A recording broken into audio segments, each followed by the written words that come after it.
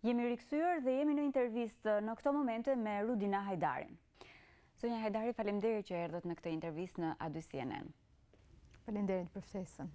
Do flasim për këto ditë të dhjetorit, por um, që janë të rëndësishme për Partinë Demokratike. Kishim 8 dhjetorin, uh, ditën që lëvizi uh, nisi lëvizja studentore dhe falë saj uh, regjimi diktatorial ra në vend, sikundër presim edhe përvjetorin e Partisë Demokratike, forca e parë politike me ardhjen e pluralizmit në vend.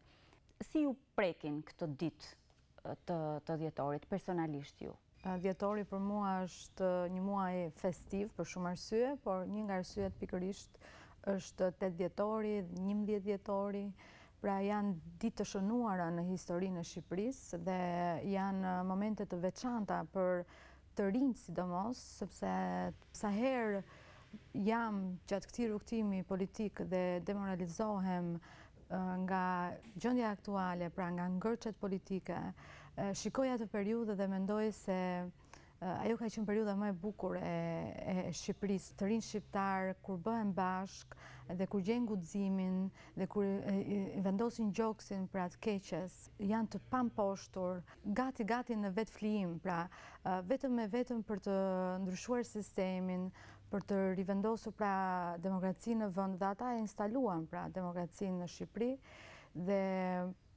për këtë unë jam shumë, shumë krenare, dhe fakti që babai im luajti një rol kryesor në atë lëvizje, padyshim më bën shumë krenare, dhe unë mendoj që për çdo të ri apo të re, apo për çdokënd që do të bëjë një lloj ndryshimi, duhet ta përdorë këtë periudhë si një pikë referimi.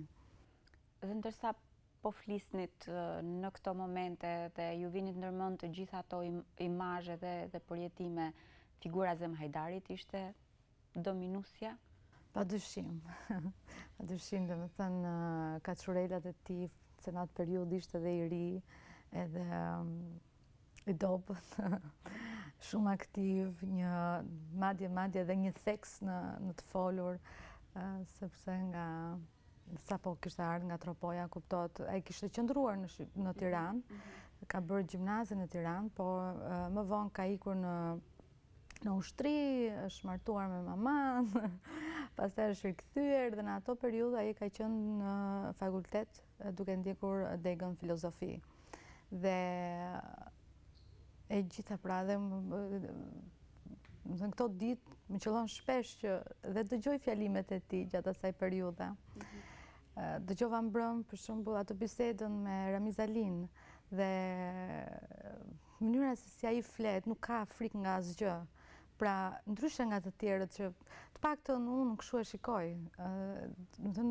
nuk ka problem të identifikohet se kush është, sepse duhet të kesh parasysh që shumë njerëz ishin të trëmbur në atë kohë. Absolutisht, po. Dhe ai nuk ka frikë, është shumë i qartë në idetë e tij.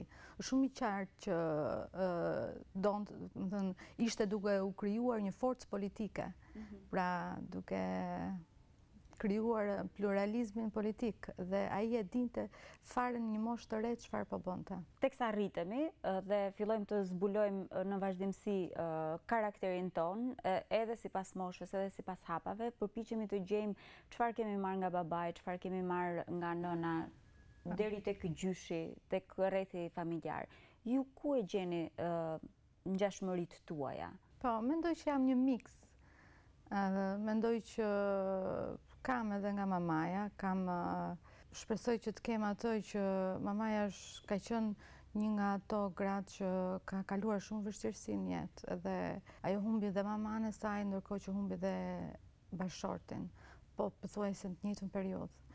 Dhe domethënë në moshë fare të re, ajo u ndodh me tre kalamaj, për t'i rritur dhe mendoj që duke duke parë atë sa e fortë dhe stoike ishte për të mbijetuar dhe për ta kthyer ta kthyer atë dhimbje në forcë besoj se atë pjesë unë e kam marrë prej saj që dua që dhimbjen ta kthej në forcë pastaj pjesën tjetër e revoltimit apo të damarit Mendoj e kam nga tim atë, atë them që guximin e tij ose dëshirën për t'i bërë gjërat ashtu siç janë, për të qenë e vërtetë në atë që them, për ta përjetuar këtë rrugëtim politik ashtu siç e përjetoi ai pra me me dëshirën për t'i shërbyer këtij vendi, edhe jo për të përfituar prej saj. Keni